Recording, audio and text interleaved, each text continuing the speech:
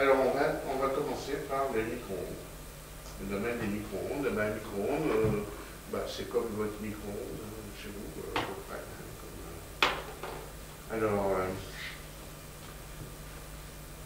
il faut insister un peu là-dessus parce que cette année, je pense que grâce à ces satellites micro-ondes, il va y avoir probablement une équipe à base française d'ailleurs qui va être nobelisée. hein, euh, ils sont en train de, donner des résultats qui vont permettre de faire des avancées importantes en, astrophysique.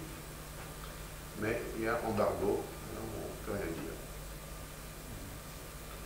Le satellite Kobe a été, avait pour mission de mesurer, alors bon, les de mesurer en fait le, fond, le fond cosmologique, c'est-à-dire quand on écoute le, ciel, on regarde le ciel et qu'on veut essayer de mesurer, alors ça, va- vous paraître bizarre, de mesurer la température du ciel. Hein, Chaque corps émet une température, hein, et nous on émet, on émet dans l'infrarouge, hein, par exemple.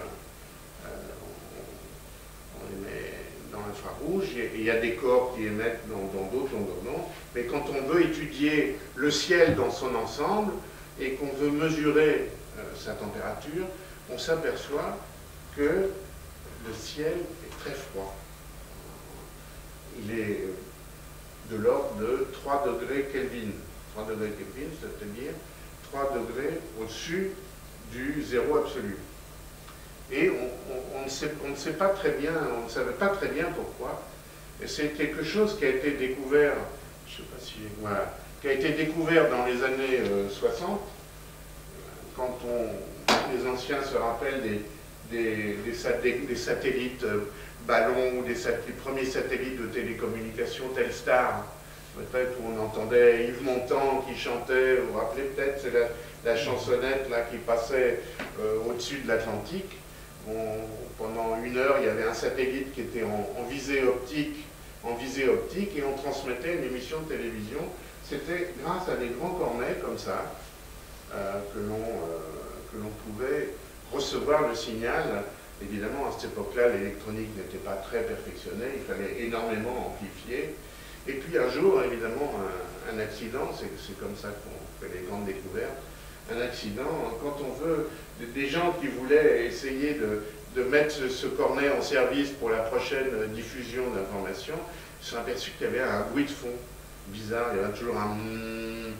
Alors bon, ils ont essayé de, de faire tout un tas de modifications. On s'est aperçu, si j'ai mis des pigeons là, parce que c'est amusant, on s'est aperçu qu'il y avait des pigeons qui avaient niché dans, dans le cornet. Hein, alors, il y avait plein de caca de pigeons partout. Ils se sont dit, oh, c'est le caca de pigeons. Alors, ils ont tout récuré. On voit deux, mecs du MIT en train de récurer quand même ça, ils sont bons. Et toujours, hmm, alors ils ne comprennent pas bien. Et puis un jour, à la cantine, en discutant avec d'autres collègues, ils sont aperçus, en fait, ils venaient de faire une découverte fondamentale. Ce qu'ils entendaient, c'est ce qu'une autre équipe, euh, euh, équipe d'a- d'astrophysiciens cherchait. C'était justement ce bruit de fond qui est un reste euh, du Big Bang, si vous voulez. C'est, les cendres, ce sont les cendres du, feu originel que l'on, mesure dans le ciel. Et ils se sont aperçus justement, voilà, le ciel, la température du ciel était uniforme comme ça. C'était un bruit dans toutes les directions. Il y avait un hmm comme ça. Ce bruit-là, d'ailleurs, entre parenthèses, vous le voyez, on le voit peut-être plus sur les télévisions digitales, mais avant, dans les, dans les vieilles télévisions, quand vous étiez entre deux canaux, vous aviez de la neige. Et bien, une grande partie de cette neige, c'est le reste du Big Bang. Hein, Amusant. Donc, voilà, ils ont trouvé ça. Et ayant trouvé ça, on s'est dit, c'est quand même bizarre, est-ce que c'est vraiment vrai? Et on a lancé un satellite qui s'appelle Kobe, en 92, pour mesurer vraiment euh, plus précisément cette température.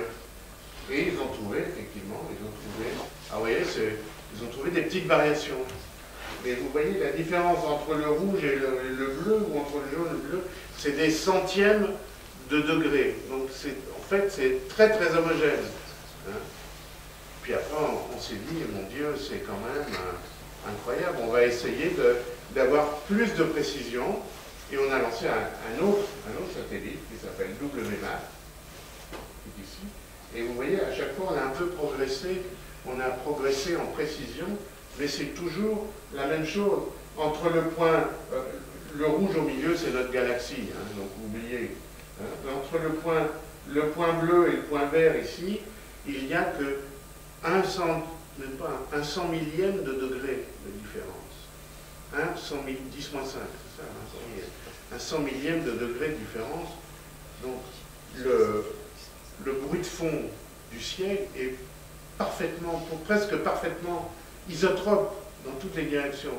Et ça, c'est en fait une preuve que justement, il y a eu le Big Bang à un certain moment et que au bout d'un certain temps, la lumière s'est échappée et c'est le reste de cette lumière originelle, ce qu'on appelle les, cendres, les cendres du feu originel. Bon, euh, peu importe. Mais c'est très important parce que ces, micro-fluctuations de, de, densité, de température, c'est ça qui va être, euh, ça qui va être à l'origine de la création des galaxies. Alors je ne sais pas, voilà. Euh, ces satellites sont envoyés à, un point, euh, si possible, éloigné de toute source radioélectrique, si possible éloigné du Soleil pour que ça ne perturbe pas. Et il y a un point qu'on appelle le point de Lagrange. Vous connaissez les points Lagrange, je pense, point Lagrange numéro 2, et c'est à cet endroit-là qu'on envoie ces points, euh, ces satellites sur une orbite, justement, euh, pour ne euh, pas être embêtés par toutes ces radiations parasites. Alors, un petit, un petit commentaire sur le point de Lagrange numéro 2, parce que, en fait, c'est une position qui est très recherchée par tous les observatoires spatiaux, donc il commence à y avoir du monde en L2. Hein. Alors, L2, les points de Lagrange, il faut savoir. C'est pour ça que j'ai écrit ça, pour que ça soit clair. Ce ne sont pas, comme on croit, les points où l'attraction du Soleil contrebalance l'attraction de la Terre. Pas du tout ça. Hein, parce que dans l'espace, on ne peut pas rester sans bouger. Hein. parce que la, Terre est aussi soumise à une force centrifuge. C'est ce sont les points qui tournent à la même vitesse que le corps central, hein, donc qui tournent à la même vitesse que, la Terre, que le Soleil ici, et qui sont fixes par rapport à cet ensemble.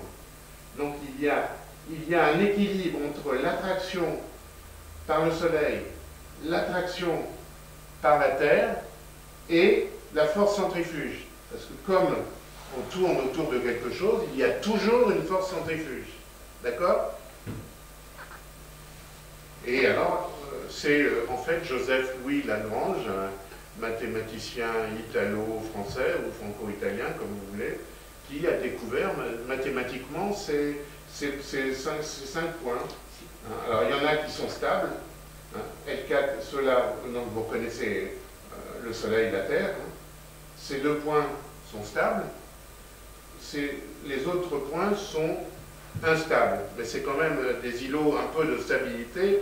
Instable, ça veut dire qu'il faut de temps en temps un peu, faut leur rappeler, il faut leur donner un petit, un petit coup de pouce de, euh, moteur fusée pour qu'ils restent, restent bien en orbite. Donc, ces points sont fixes par rapport à l'ensemble Soleil-Terre. Alors, bien entendu, il existe des points de Lagrange pour ça c'est la Terre et ça c'est la Lune, hein, par exemple pour tous les corps. Dès que vous avez euh, trois corps, vous, avez les points de Lagrange.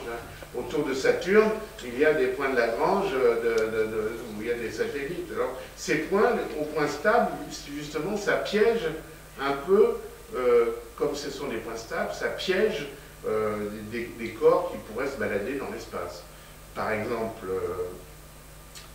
par exemple, eh bien, autour de Jupiter, il y a des satellites qu'on appelle les, Troyens, un truc comme ça. Hein. Ce sont des, points de Lagrange. D'accord Voilà. Et voilà la première image détaillée du fond du ciel est ce qu'on appelle le, le, fond cosmologique, le fond cosmique, excusez-moi, ce fond cosmologique, euh, micro-ondes, et c'est au 100 millième, je dis, oui, au 100 millième de degré près. C'est en fait, c'est la première photo de notre univers. Et là, le, rouge correspond au chaud. Le, le rouge correspond au chaud à 100 millième de degré près et le bleu au froid. Alors voilà la représentation. On l'a représentée comme ça, comme des fois on représente la Terre euh, comme ça, hein, bien sûr. Ce n'est qu'une question de, de représentation. Et alors, ce qui est intéressant, c'est justement cette différence entre un point chaud et un point froid. En fait, il va y avoir une petite variation de température, donc une petite variation de densité, donc une petite variation euh, de masse. Euh, vous savez que la force la plus importante dans l'univers, je le répète, c'est la gravitation.